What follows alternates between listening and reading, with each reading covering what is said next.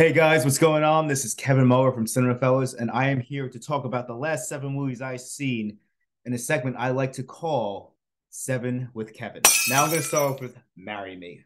Marry Me was a movie that came out in early 2022, which starred Jennifer Lopez and Owen Wilson. It's a very typical, predictable romantic comedy where Jennifer Lopez plays a pop singer, far reach, I know, a pop singer who plans to marry her pop singer fiance on the stage in front of millions while promoting her new single, which is the title of the movie, Marry Me. Unfortunately, it is found out that uh, the boyfriend of the fiance has cheated on her. She breaks it off, but she doesn't want to destroy her career. So she picks a random guy in the audience, and that happens to be Owen Wilson. What starts off as a business transaction, very cold, soon develops into, you know, romance. They fall in love with each other, but she has her career. He basically is kind of a boring math teacher with a daughter who idolizes this lady again, you can probably predict where the story goes. Again, it's harmless, it's not bad. Owen Wilson and Jennifer Lopez are both good individually and as a couple. They have more of a cutesy chemistry than like a sexual one, but you know, considering the tone of the romantic comedy they're in, it's fine. And I'm giving this one two and a half out of five. Wow. Owen Wilson airpieces. If you don't know, Liam Neeson is going to be doing The Naked Gun. They're going to reboot The Naked Gun and it's pretty perfect for him because over the last 14 years he's been doing the same thing over and over again. Since taken in 2009 a film that i love a film that had made my list back then for the best of 2009 he is basically stuck to the same thing since then. Uh, i don't blame him. He's probably getting pretty good payouts for for these films. You know they're not really that expensive to make. They're pretty much you know base something you'd see on like um Netflix or you know back in the day Showtime. They're Showtime action movies. But you know most of these things don't work. Most of these things don't work because you don't have skilled directors like the guy who directed Taken, whose name escapes me for right now. And these two movies, first is Blacklight. Blacklight is a movie about Neeson. He is working for a government agency who silences people who are getting too comfortable, start rebellions, basically people who do not fall in line with what the government wants us to do.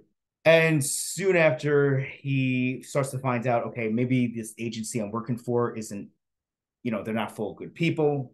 And he starts to kind of rebel. But also, he's basically, he has a character trait of losing his memory.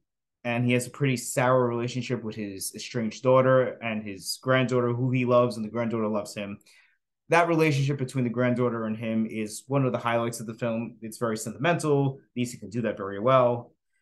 But the political aspect of this movie really doesn't go anywhere. You know, you have a hotshot news reporter trying to break the story. You have people trying to help Neeson understand like these guys are bad.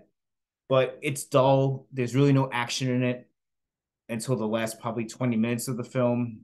And you know, it's it's just not a good movie. It's it's kind of boring and I'm gonna give this unfortunately one and a half out of five Liam Neeson hair pieces. Now the next one, also starring Neeson, is Memory, and this one is directed by Martin Campbell.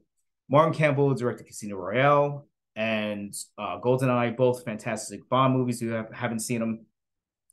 Here, he once again gives the character trait of memory loss to Liam Neeson, but it's done a little more, um, a little better here. And here he's taking down child pedophiles, child predators, you know, the rich and their disgusting ways. Some of the rich, I'm not gonna say all the rich. More competent director. Uh, you got Guy Pearce here playing an ally. You got Ray Stevenson, who was just casted in some Star Wars TV show coming out on Disney Plus. Uh, Stevenson's role really isn't that big. He's kind of just playing a character of a disgruntled police officer, but I liked him. He was very convincing. He was enjoyable to watch. Guy Pearce is doing some nice work. Uh, there was a lot more action in this one. It is more engaging than Black Blacklight, but you know, it's just it's predictable. It's down the road. It's something that you'll probably see made fun of in the Naked Gun series. You know, I'm looking forward to that one. That one's either going to be a home run or it's going to completely fall flat in its face. But I have uh faith in Neeson. Neeson can do comedy. He was in an episode of Atlanta. He did a stint in Ted, kind of parodying this character that he's always playing. So I'm looking forward to it. But memory, I am giving two and a half out of five Liam Neeson hair pieces. Okay, so the next film I am going to talk about moves away from the action genre and more into the romance and you know character drama of uh, Paris back in the day. I say the 50s or 40s, and this is Miss Harris Goes to Paris. Stars Lesley Manville, who is playing Miss Harris. Her husband died in the war. She's down on her luck. She's struggling financially. Her dream, though, is to go to Paris and obtain an original designed by her Christian Dior dress. Okay, if you haven't skipped ahead to the the next review, uh, you know, because the subject matter may not be for you, it's fashion. But you know, this movie was pretty good. I enjoyed it. It's fluff. It's it's you know, it's an it's an enjoyable Saturday afternoon movie. Uh, the production di- design is great. The costume design, which I know they had to bring it because this whole entire plot revolves around fashion.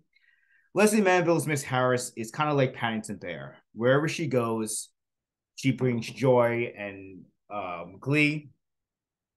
She goes to Paris. She runs into a few people who are either depressed, obsessed with themselves, greedy, negative character traits, and she kind of brings her sunlight into their their lives. And again, Lesley Manville is fantastic. You got Jason Isaacs from Harry Potter here playing a bookie at a horse racing track and kind of like a love interest to her. And I liked this film. It was it was very easy to watch, and I'm giving this one three and a half out of five. Miss Harris, Christian Dior hair pieces. Now the next one, The Rock and I have a very complicated relationship. He is either an actor who can bring his energy into a film and make it extremely enjoyable, or he is an actor who can completely can completely bring down a project because of the size of his size of his egos, which is probably the size of his arms. Now, when he's with Kevin Hart, Kevin Hart kind of balances him out. I feel like because Kevin Hart brings the comedy to the seriousness of Dwayne Johnson, aka The Rock. Here in Super Pets, DC Super Pets, they work well with each other, just as well as they did in Jumanji in the story, you have the Superman story, which is the same. Everyone knows the Superman story, but in this one, you have Krypto, the dog, family dog, jumping in the pod with Kal-El and going to Earth. And uh, Jor-El basically says, you know, take care of him. And now, you know, back on Earth, you have the same story that everyone knows about Superman. Clark Kent working at the paper, being in love with Lois Lane, but he has his canine friends who as is as powerful as he is, and they solve mysteries together. Then the Force Evil Force comes. It all unfolds in a predictable way. It's fun. It's a very light kids movie. You have some great supporting performances. The cast here is stacked. It is a stacked cast. I'll just say Keanu Reeves is a pretty good Batman. Kevin Hart's a good sidekick. Uh, Vanessa Bayer is one of the pets in their super gang. She plays a pig. I thought I enjoyed her a lot. And the villain is played by Kate McKinnon, who, you know, Kate McKinnon's great. I enjoy Kate McKinnon a lot. Again, harmless film. Kids will love it, and adults will enjoy the Easter eggs. If you are a DC comic book fan, you will see a lot of Easter eggs here and a lot of jabs, very friendly jabs at the property. And I'm now giving this one three out of five. Dwayne Johnson hair pieces. All right, so the next one is a murder mystery that takes place back in the day. It is more of a parody of the murder mystery genre specifically Agatha Christie. It stars Saoirse Ronan, who has been nominated for four Oscars, and Sam Rockwell, who won one Oscar for the Three Billboards Outside of Ebbing, Missouri. Great film if you have not seen it. Here they play a detective and a junior detective who must solve the case of a murder within a theater. Adrien Brody pops up here. Um, Ruth Wilson from The Affair pops up here. It's okay. It's middle of the road. I think it could have been a lot more cinematic in the hands of another director. It's kind of boring to watch. It's just very stagey, besides a few scenes where they utilize split screens. And the killer reveal isn't memorable. I kind of like, like, oh yeah, he was in the movie. I forgot. Uh, but you have Ronan and you have Rockwell both turning in performances that are great. They both work, uh, work well with each other. Middle of the road stuff, you know, if you see it on HBO Max or or Amazon Prime. It's one of those two. you know, check it out if you have nothing to do, if you like Ronan and Rockwell. But again, nothing crazy. Two and a half out of uh, five Sam Rockwell hair pieces. Every year, there is a movie where it is being it's pumped up through the year. This is it. This is going to be the big Oscar player. Look at the director. Look at the stars. Look at the writer. It's a you know it's a no lose scenario where we're going to be hearing best actor for this person, best actor for this person, best film, best director. You know the drill. And every year, a movie like that flops or comes out and it underwhelms. And I'm sorry to say, 2022's version of that film was Amsterdam. It took me a while to watch this movie, and that's very surprising because I'm a fan of David Russell. I thought Silver Linings Playbook was great. I liked American Hustle. The Fighter was fantastic, and I even liked Joy. But this one is just it misses on every every account. You have Margot Robbie, you have Christian Bale, and you have one of the main reasons I'm not going to score this as low as I wanted to, John David Washington. John David Washington is up there against those two, Robbie and Bale, and a bunch of other people. Again, this like this movie, like DC Pets, is stacked with cast. You know, every scene there's a new actor. They're like, oh my god, he's in this. Oh, so he's in this. She's in this. But it's not enough to make a good movie. The story is not engaging. It's about the underbelly and the dirtiness of America. You know how things get covered up. The rich get away with a lot. But it's just it's not engaging. It's boring. It's the style which David Russell is known for doesn't mesh well with this story. I think in any other director and writer's hands, it could have been something interesting, but it's all over the place. It wants to be a comedy, wants to be historic. It's not a good comedy. It's too slapstick. The acting is all over the place. You know, the acting is okay. They're not terrible. You know, that's you know, Bale is Bale. You know how Bale is. Robbie is good, and again, John David Washington is great you know, keeping up pace with all these actors. But it's just it's a mess. It's a big mess, and I just didn't enjoy it at all. I just it just just forget about it, David Russell, move on. You know, don't beat beat anyone up because of this movie and all the shit it received. You'll bounce back, buddy. But I'm sorry, man. I'm gonna have to give this two out of five David O. Russell hair pieces. Did you agree with any every review I had?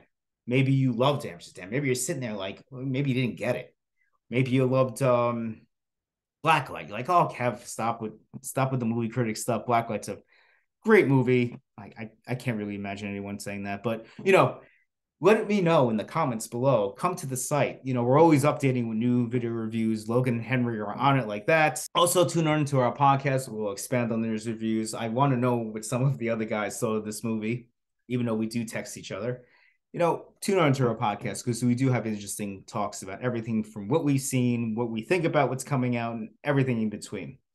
But for today, I am concluding with that movie. And as we say in the site, cheers.